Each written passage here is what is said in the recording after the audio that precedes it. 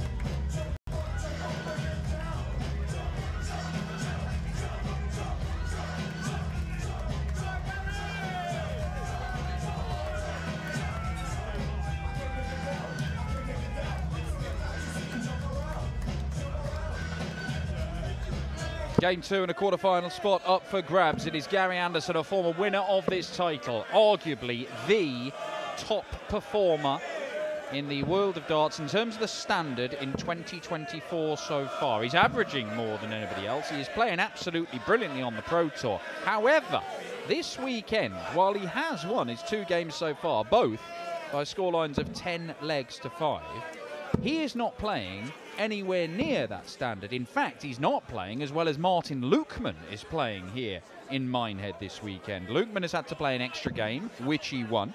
He has beaten Jermaine Wattimena, Leonard Gates, and Danny Noppert, surviving a couple of match darts from the 2022 champion. Can he add another former winner of this title, the 2019 winner, sorry, 2018 winner, Gary Anderson, to his kill list?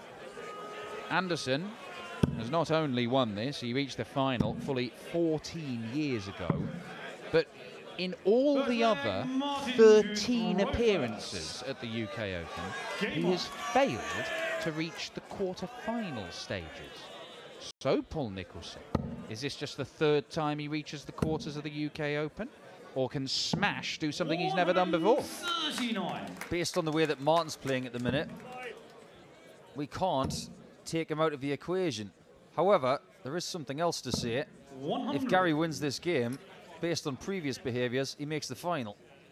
And that would not be a shock at the minute for someone who is ranked outside of the top 20 in the world, even though we're talking about him as one of the best statistical players in the world at this point. I say one of.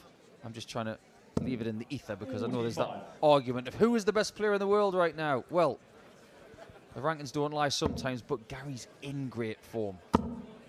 Yeah, it's a, it's kind of a false position. But then, is it? Look, he, he was in a load of TV tournaments last year. He just didn't win many games.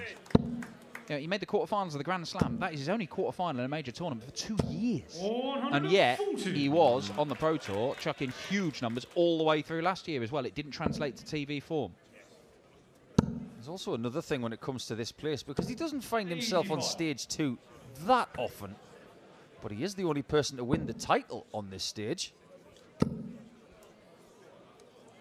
So maybe he does like Red's bar. Let's see how he likes it tonight. He likes that 180 though. Treble 16 or treble 20? Treble 20 it is for double 14, and that is a superb checkout from Smash.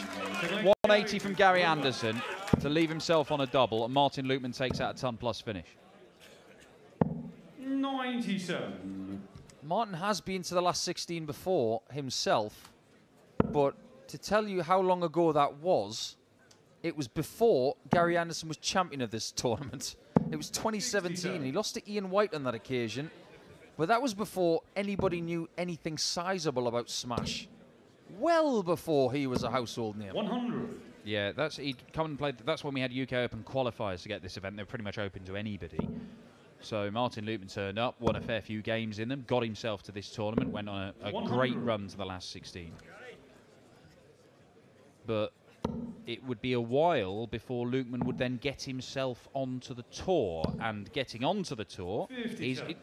he's a great example, actually, of a player who's got onto the tour and got better.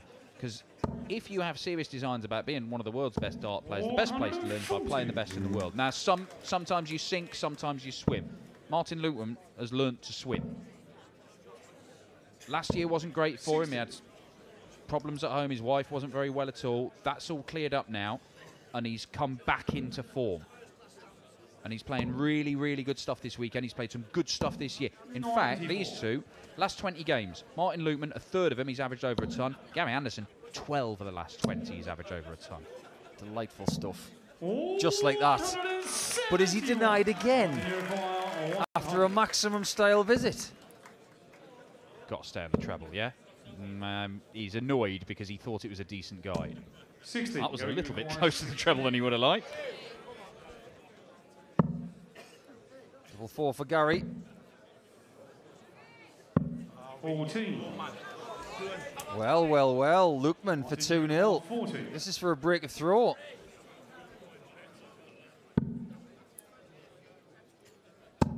And he gets it. 2 0 Martin Lukeman. And there was just a little thing with the second off, Gary, the dart at double four. The follow through just seemed to stop. It was very, very odd. And you, know, you don't throw the ridiculous numbers. In fact, Gary Anderson's played his highest ever recorded average the other week 80. on the Pro Tour, more than 117. And I know he'll have thrown massive numbers that we don't have records for, but it still says something. But you don't do that without your technique being pretty on point, and that's a sort of weird thing to see him do when he's in this purple patch. It's a tough discipline 100. playing two games of best of 19 in a day.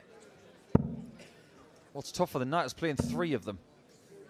And then playing best of 21 as well, 100. just towards the end of tomorrow night. But is it fair of me to say, comparing Lukeman to two years ago when he was really starting to kick on when he made the final of the 100. Munich European Tour event, the German Darts Grand Prix, where he lost to a certain Luke Humphries, who kicked on from that first European Tour win. I think Lukeman's playing better now than he was then. And I don't want any recency bias. It's not that. He just looks more comfortable, more likely, more threatening than he was back then. I certainly think it's comparable. I mean, uh, there are that spell that he had as Gary. ooh, how about that? 168. 168 to leave himself on double four. But every time he has that approach shot, Lukeman's ahead. He is. Double 13 for 3 0. Martin Lukeman hoovering up chances. 3 0 against the Flying Scotsman. And all right, you know what? The last three days have convinced me. I think you're right. Martin Lukeman's playing better than he was a couple of years ago. 100. Although I do, it does stick in my memory on the European tour him playing Damon Heta twice and defying averages of like 108 from Heta to beat him. I do remember that first Heta game, and 40. that's arguably Martin's best ever performance. Uh, and it look first to six, but it was sensational. And I I'd not seen him do that kind of thing before. That was the thing. And not only did he play well, he played well when another guy guy's playing incre- just as well against him. Everybody's got a little bit of kryptonite out there, haven't they? I mean, Damon Heta has got the wood on some players. Yeah, Chris Dobey's one of them. Just because Lukeman's getting this lead, don't count Gary out yet. Yeah, but what is uh, look? Martin Lukeman would probably have taken five five at the break if you offered him at the start of the match. But right now, that's unfortunate. It's not the first start that's gone like that in this game. He's got to be really wary of that. That's because he has a really upright angle of attack in the board. And if that middle of the point is hitting the wire, it's going in too vertical. 117. Yeah, what would be what score would Martin Lukeman take now after ten legs? 6 4. Gary requires At worst. No need to go on the 19s with Lukeman not down to a finish. Yep. 86. Choosing to leave tops, which is interesting because a lot of the time Gary Anderson has been going for double 16 in recent months. Yeah, maybe he's figured something out when practicing with Ryan Searle. 100. Gary But you're absolutely right. He has been leaving 32 a lot. Double five. Game shot of full flag. There you go. Gets him out of jail. Gives him his first leg of the night in front of what's going to be another crowd that loves Gary because let's face it, which crowd doesn't? Maybe Nottingham at the Premier League. It seems to be the only one that gives him a little bit of stick. 59. Yeah, there aren't many where. I mean, there's always a huge selection of Gary Anderson fans wherever he goes. I do get the feeling that double five was an important dog. Gary getting really annoyed already. And sometimes Gary getting annoyed is exactly what he needs. It kicks him into overdrive. So what you're telling me is that Martin's actually played a blinder there because he's making sure that Gary isn't too angry. Yeah, exactly. Don't you wouldn't like him when he's angry.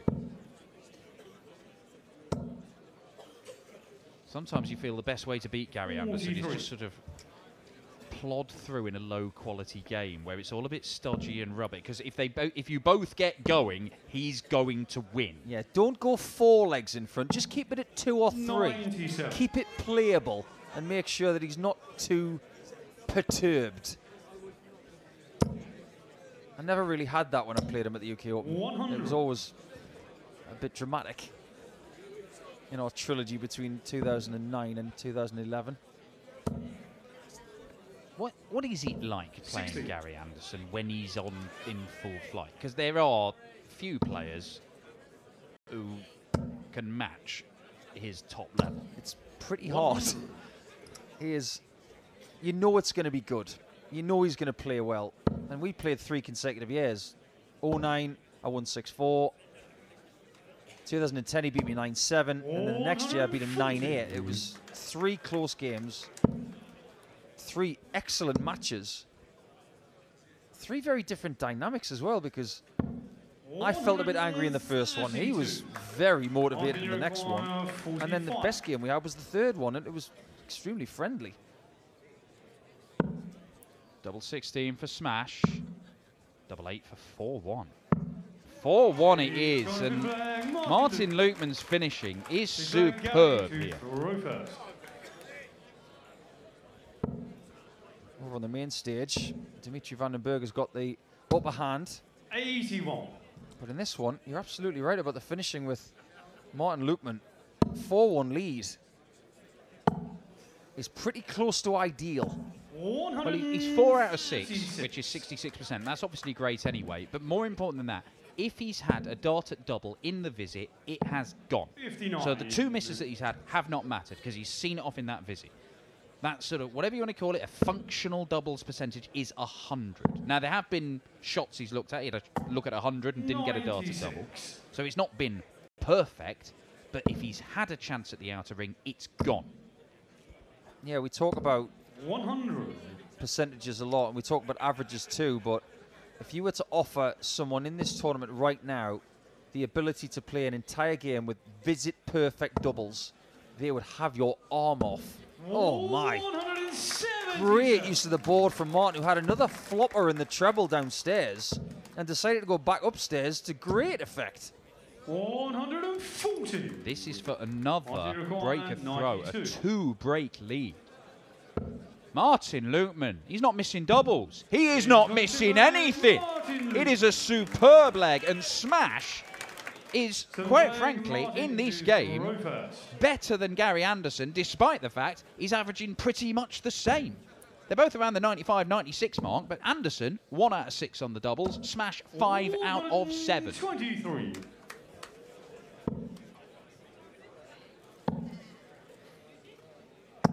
Ninety-six. He's having Gary Anderson for breakfast and dinner at the minute. And if you like a bit of potatoes for mash get smash, this is a really good display. But he's he's even doing it with darts on the floor. I think he's I think he's had a bounce out there that almost hit the referee.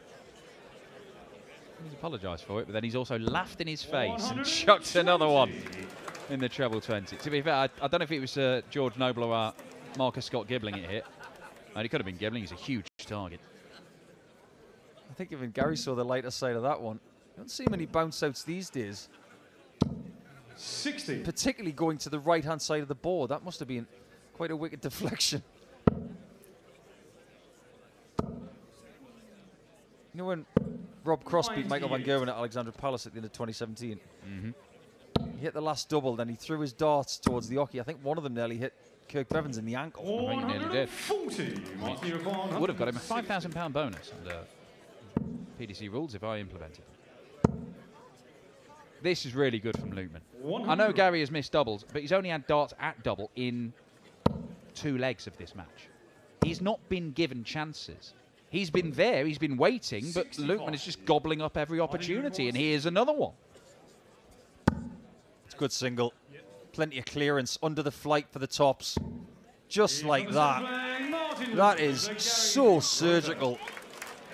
Just like Luke Humphries, he talks about getting the single for 60 really high so the flight is out the way. It's no longer a blocker. But even for Lukeman with the short stem, it can be very useful to have it just under the, the tops wire. And even when it, he has a bad dart, he recovers brilliantly. That's two and two legs. Bounce out 60 60. Big five 60 60. The bad visits are brilliant. Uh, and he's on a roll here where he won the first three legs, lost one, won the next three legs. And the thing is, every single leg that Martin Lukeman is having, he's getting towards the back end, he is setting the shot up, he is taking it out. The first opportunity he gets, onto the next leg. And at the minute, he must be feeling so confident. Every time he gets a little sniff of an opportunity, no problem, I'll see that off, and he does next leg. And the lead is increasing and increasing and increasing. Gary Anderson must win nine of the next 12 legs. And even the Flying Scotsman is going to find that difficult. He's going to get a dart of double in this leg. But if we may revise what we talked about previously in the match, Dan, if it's 6 4 at the break, Lukeman will be very disappointed. Now he's thinking 8 2, 7 3 at worst. Double 10 is found. Gary Anderson has got just his second leg, but he is under the gun here. Got to find multiple breaks, and you stress that if he doesn't get this one, he's going to need a 100. break Lukeman every time after the break. The chances are Lukeman is going to start missing doubles at some point. He has to, doesn't he? He said that about Jonny Clayton against James Wade at the Masters in 2021, and he did. missed one out of 10. Oh, and even when Gary Anderson starts firing in the big scores, Martin Lukeman is matching him. Well, Gary's been under pressure 44. since the first leg, and he just feels like he's trying to catch Martin, who is cruising at a very, very good pace at the minute. 81. I can't remember one bad, I mean, really bad visit in this match for Lukeman. 140. Marty require 100. Yet again, Anderson gets himself on a finish, but Lukeman's already there. And this time it's tens. Oh my word smash! What a display! Now he's looking for 8 2 at the break. Gary, to his credit, putting that fist bump out there, that's somewhat uncharacteristic because he likes to stay in his own zone. But right now, he has to admire what Martin's doing. This is a magnificent display. It is, without hyperbole, so far in the game, it is one of the greatest finishing displays we've seen in the history of this tournament. Because Martin Lukeman, if he's had a dart at double in the visit, he's gone. He's chucked in a 140 finish in there as well. And he's doing it against Gary 60. Anderson, a man who has been flying coming into this tournament.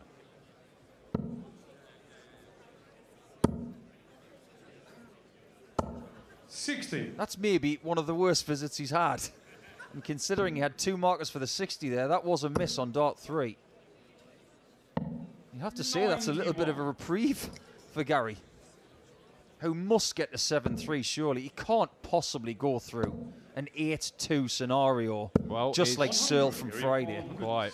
Ryan Searle, his practice partner, did come from 8 2 down to lead in his game and then lost it. 60. Just the 60 and a two treble visit will just keep Lukeman interested because he's gobbling up any chances. Even a one treble visit gets him to a finish. Just looking to hammer it between those two, and he's unable to do it. So Anderson, a couple of visits from here to get a third leg. Double 18. He has done his job, and he has won leg 10. So he's not going to be facing 8 2 down like his practice partner did yesterday evening. But Smash has obliterated his way to within three legs of the last eight at the UK Open for the first time. Will he get it done? Stay with us after the break. We will find out.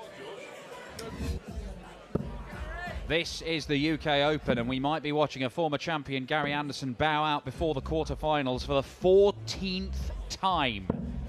The former winner and former finalist is just unable to answer this brilliant performance in terms of finishing from Martin Lukeman. I'm not sure many people would be able to.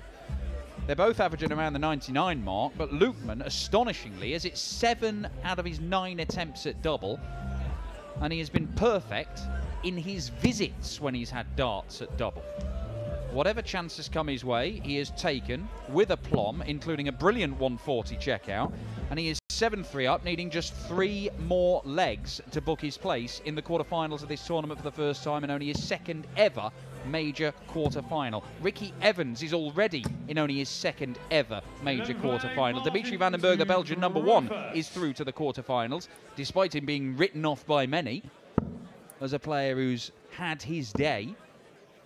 The UK Open is delivering. But can Martin Lukeman deliver three more legs and knock the Flying Scotsman out of the tournament? Let's see what Gary's got after the break. 83. This has got to be close to perfect from here. Well, the thing is, it could be, though, couldn't it? That's, the, thing. We've already mentioned it this weekend. A game on this stage in the Players' Championship finals where Ryan Searle was 7 3 up on Dirk van Duijvenbode. And Dirk van Duijvenbode came out after the break, and this is not an exaggeration, averaged 120 for the rest of the match and won it. But that was freakish. 60. And Gary Anderson might need something like that. Well, if we thought of this as a hypothetical situation come this afternoon, 100. and Martin Lukeman was 7 3 up on anybody, and you said, based on form in 2024 alone, who would you want to put in to try and get out of this jam? Eight out of 10 people would probably say Anderson. And the other two might say, well, Searle or maybe MVG, but Searle and MVG aren't in this tournament. They were eliminated very early. Well, Gary Anderson has come out strongly after the break, leaves himself on tops after 12 darts. That's what he needs to do. He needs to get to the finishers quicker than Martin because that's exactly what Martin was doing to him in the first five legs. 30. However, this 97 Martin, would be catastrophic 97. for the Flying Scotsman and his chances of getting closer. Double double? Is that the plan? No. 57. A bit Gary, close to the treble, but does leave himself on tops if there's any more misses. There are not. It is a breaker throw. Gary Anderson fighting back. 12 leg Gary to throw first. How many times have we referenced the first leg coming back from the break, but the ability of Anderson to break immediately, it's huge. He might have to break Lukeman every time he throws first from this point on. He might have the luxury of letting Lukeman hold once. That's about it. Well, Luke Woodhouse was 7 3 down, came out after the break, won the next three legs, and looked like he was turning that game around against Ricky Evans. But it was Ricky who produced a 140 checkout that stopped him in his tracks, and then he ran out and booked his place in the last eight. Things are starting to look up. That first start is being planted. And when he's getting three points together like that, that'll get everybody's attention. And I'm not just talking about the audience who are starting to think that there's a game on now. 100. Gary, you're 190. Lukeman's starting to score tons instead of 140s and 180s. Whereas Gary is getting to those finishes first. That 65. was an interesting route, wasn't it? Martin, you're corner 161. 161 won't go. But Gary Anderson will come back to clean up the 25, and I think it'll be 26, Gary, 17 double four. Maybe it'll be 9 double eight. Yeah, 9 double eight it'll be. And 9 double eight it is. It is back to back legs for Gary Anderson, something he has not done in this game.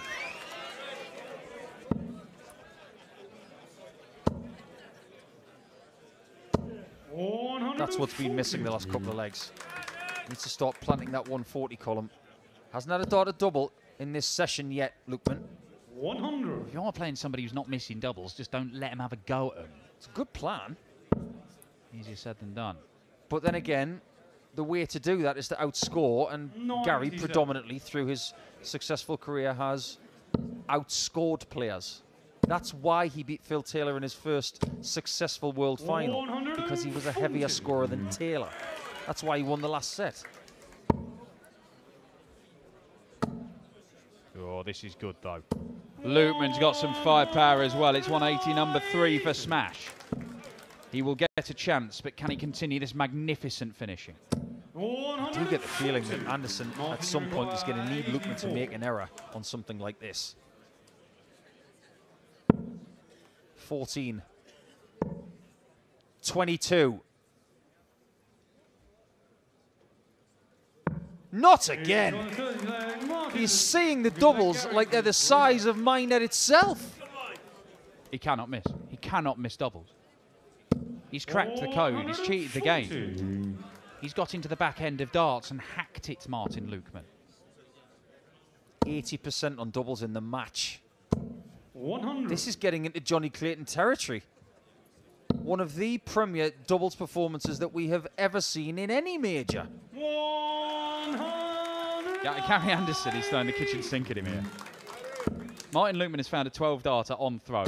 That's going to win you the leg. It needs a 9 darter for Anderson. But he might need to find two more the way this is going. 45. Just boiling this down a little bit. Has Gary just left himself a little bit too much to do? 139. Tremendous Backup shot to the maximum. No 136 for Gary. And Lukeman's surely going to get another 96. dart to double here. If not Martin, one, it might be 82. two. Oh, double 16. Oh, this is silly. This is utterly, utterly silly. Martin Lukeman. What must this feel like? He cannot miss at the end of legs. I can tell you what it feels like, Dan. I played Steve Farmer at the World Championship in the first round. 93. I ended the game with 83% on the doubles. It makes you feel like you're 15 feet tall. 140. You feel like you aren't going to miss even if you close your eyes.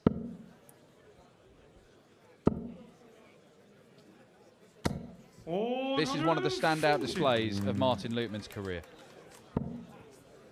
He'd only ever played Gary Anderson once. It was last year. He lost 6-5. Really good game, actually. 100. Anderson averaged, averaged 103 and only won it by the odd leg. But Martin Lukeman has finished flawlessly.